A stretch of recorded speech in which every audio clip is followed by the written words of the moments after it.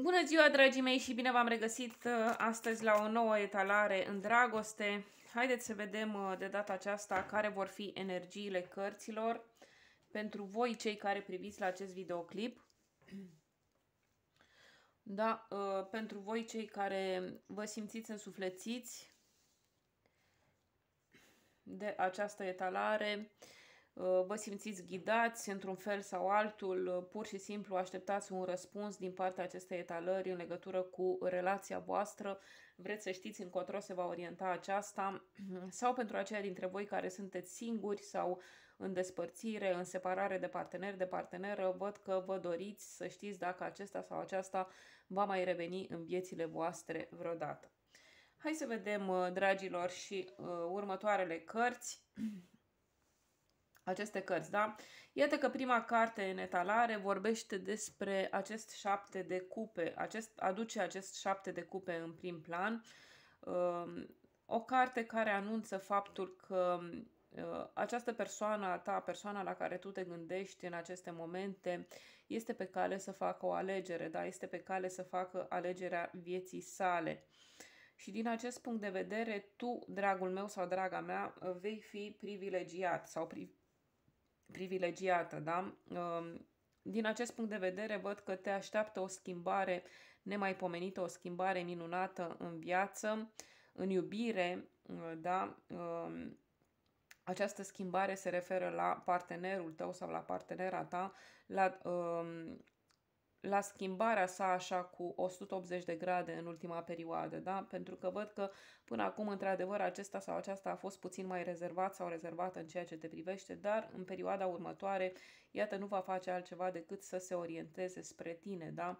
Spuneam că o schimbare minunată va veni în uh, iubire pentru tine, va da șansa peste tine, da? Șansa aceasta este... Uh, dorința ta de a se orient, dorința sa de a se orienta spre tine din ce în ce mai mult. De ce? Pentru că pur și simplu uh, acesta sau aceasta își dă seama că tu ești persoana pe care a căutat-o întotdeauna, ești persoana la care uh, la care a sperat întotdeauna, da? Ești jumătatea vieții sale.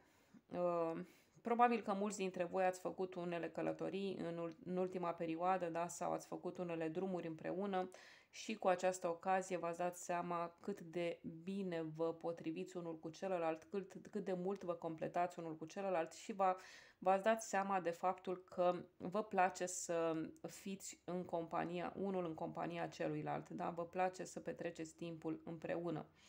Pentru că, da, ați avut de Văd că pentru unii dintre voi ați avut de împlinit drumuri destul de lungi, uh, pe parcursul cărora nu v-ați plictisit nicio clipă alături de această persoană.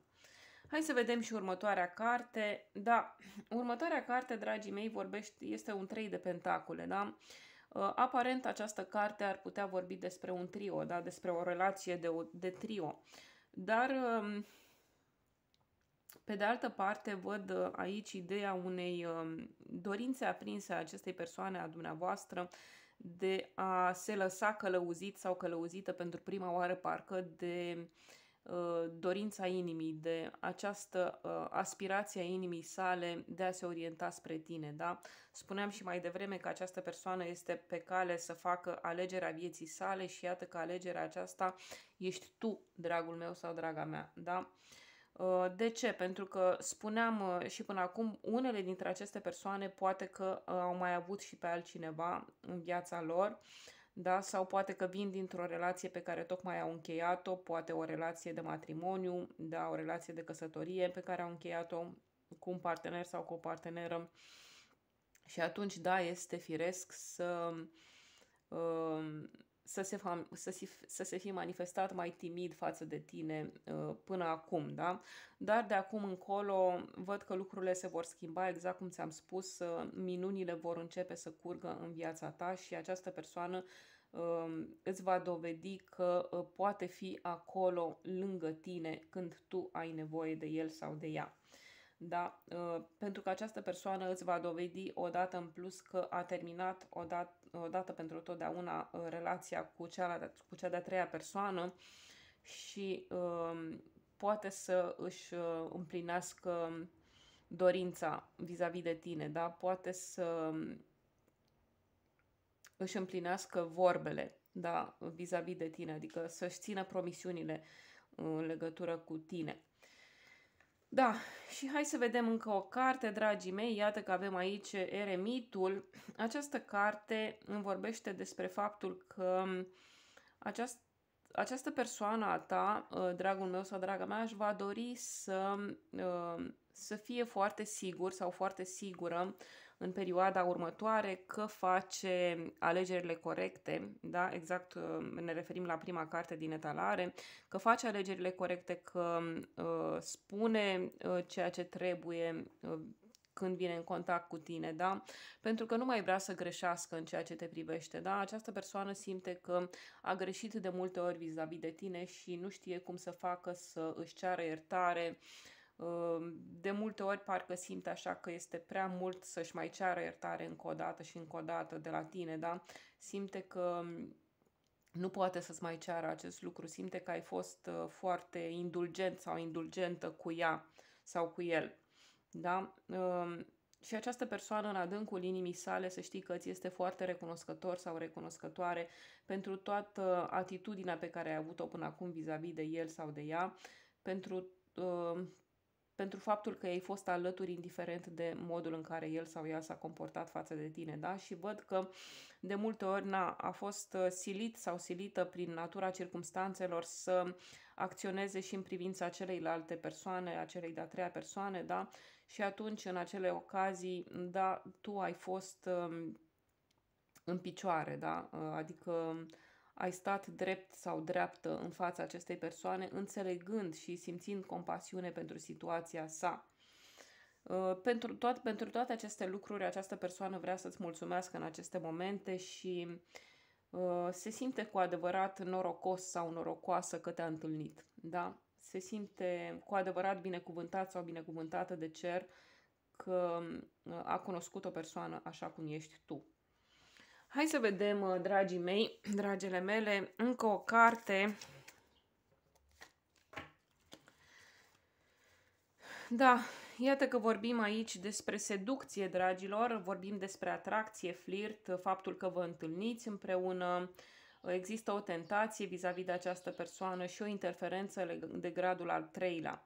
Dar nu trebuie să ne mai gândim la acea interferență, pur și simplu trebuie să vă lăsați uh, trăiți de această poveste de dragoste care s-a înfiripat între voi, să vă dați uh, voie să vă întâlniți mm, cât de des puteți cu această persoană, să flirtați cât de des puteți, să lăsați uh, bucuria și spiritul tânăr să vă anime în această relație. De ce? Pentru că nu aveți nimic de pierdut. Da? Nu aveți nimic de pierdut și iată această persoană cu adevărat se simte foarte atrasă de voi și nu trebuie să vă fie teamă nicio clipă că ați putea o pierde. Da? Uh, haideți să vedem încă o carte încă o carte pe care o voi extrage din acest pachet.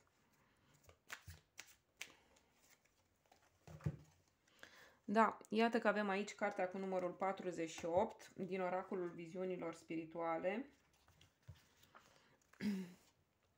Sper că se vede foarte bine, da? Ă, este cartea care vorbește despre alegeri. Deci, încă o dată, apare aici această idee a alegerilor, riscuri și consecințe. Putem fi adesea intrigați de un scenariu de tipul ce ar fi dacă. Această carte reprezintă curiozitatea, ispita și dorința de a ști.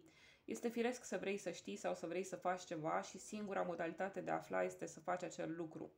Prin astfel de procese putem crește și evita stagnarea. Dar există cauze și efecte. Aici o regină deschide o comoară în formă de ou, din care iese un șir de zâne. Luminând ca licuricii, ele sunt acum libere. Este neclar dacă rezultatul eliberării lor va fi marcat de entuziasm sau de regret. Acțiunile noastre au în mod invariabil consecințe atât bune cât și rele, deci trebuie atins un echilibru. Dacă nu începem o acțiune, nu vom ști niciodată cum ar fi și aceasta la rândul său poate deveni o ocazie pierdută. Dar în același timp apreciem corect posibilele repercursiuni care ar putea rezulta.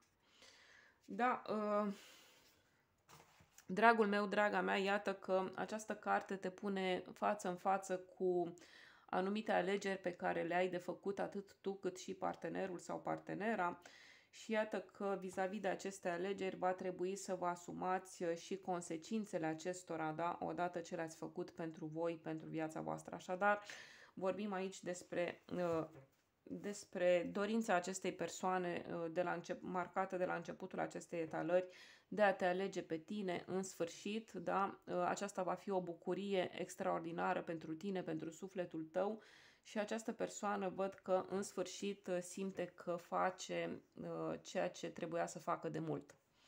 Da? Haideți să vedem și următoarele cărți.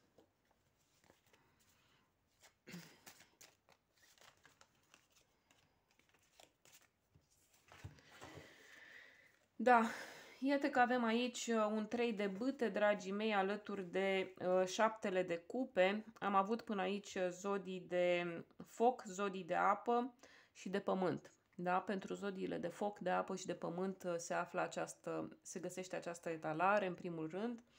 Și spuneam aici apare cartea treiului de bâte alături de acest șapte de cupe. Uh, cărți interesante care vorbesc despre această alegere și despre uh, dorința persoanei tale de a te face cu adevărat fericit sau fericită.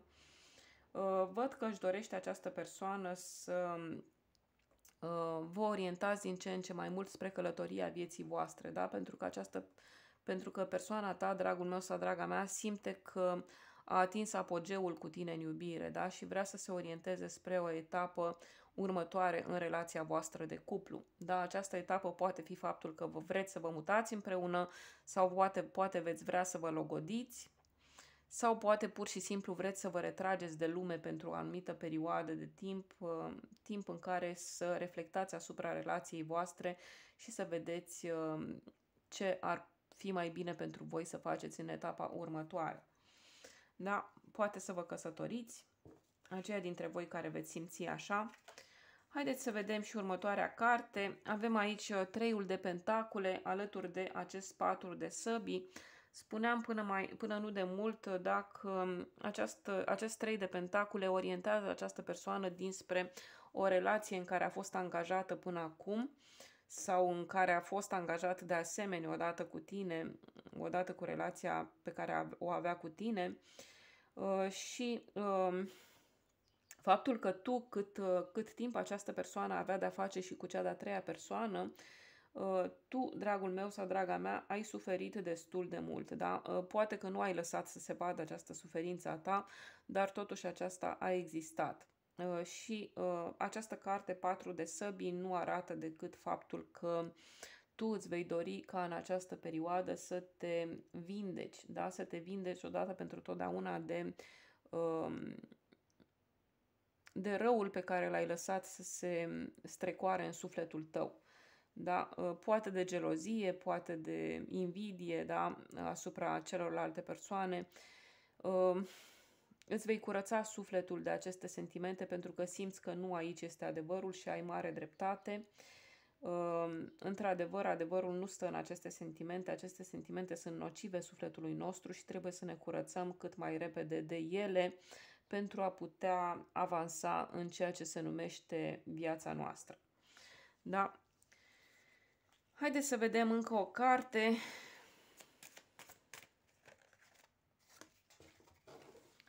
Da, și iată că avem aici uh, șaptele de uh, bâte, dragii mei, alături de eremitul.